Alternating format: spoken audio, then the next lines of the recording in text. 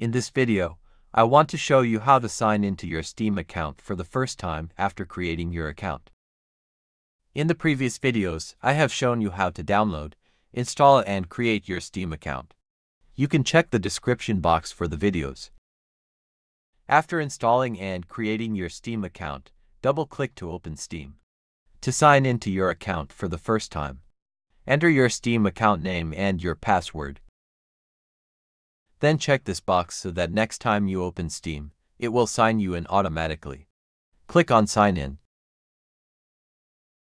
A code will be sent to your email.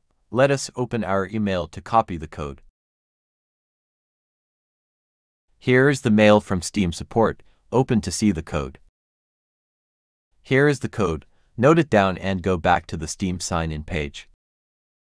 Enter the code, and you will automatically be signed in.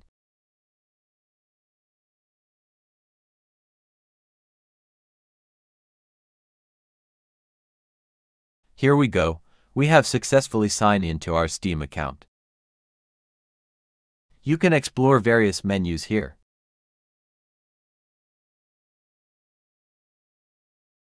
And you can search any game of your choice from this search bar. Thank you for watching.